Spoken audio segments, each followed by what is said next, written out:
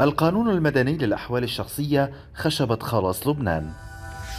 نعيش كلبنانيين في مجتمع تعددي غير متجانس.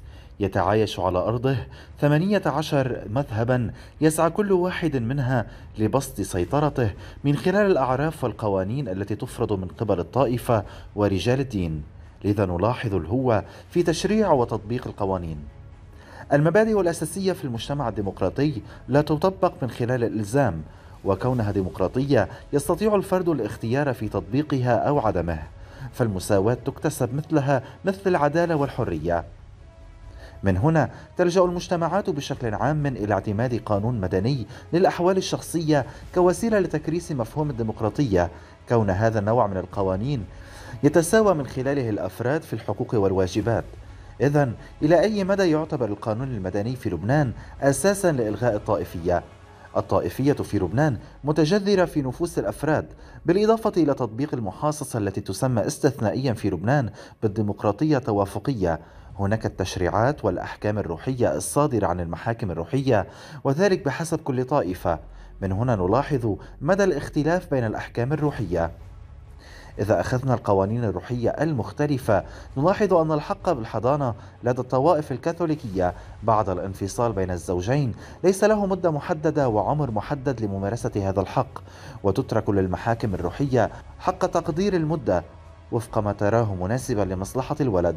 لكن الحضانة تعطى بشكل عام لدى المسلمين السنة إلى الأم لغاية عمر 12 سنة.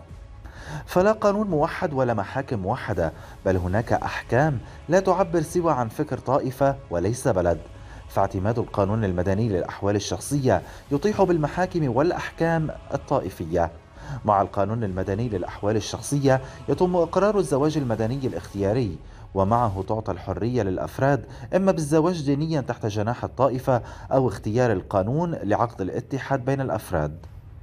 فالطائفية سيف ذو حدين فمن جهة تقوي أفرادا رغم ضعفهم ومن جهة أخرى قد تحاربهم في حال تدخلت المصالح الشخصية لصالح الجهة الظالمة. واعتماد القانون المدني يعطي للمرأة دورا كبيرا بصنع القرار ويمكنها من فرض سلطتها داخل المجتمع لتصبح صاحبة القرار.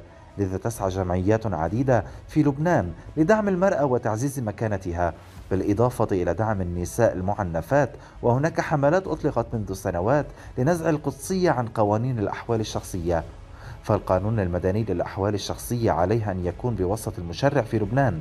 فلا تكفي إزالة المذهب عن الهوية بل عن إخراجات القيد وجميع المستندات التي تظهر الطائفة.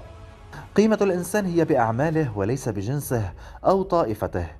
لأن علينا أن نتساوى جميعا فخصوصية الإيمان أو المعتقدات عليها أن تختلف عن نظرة الأفراد ببعضهم أعمالنا هي أساس احترامنا لذا علينا تقييم الفرد على أساس أعماله والمطالبة بقانون مدني موحد للأحوال الشخصية لضمانة مستقبل وطننا لبنان فهل سيقبل رجال الدين بالتخلي أو تقليص سلطتهم لصالح القانون المدني؟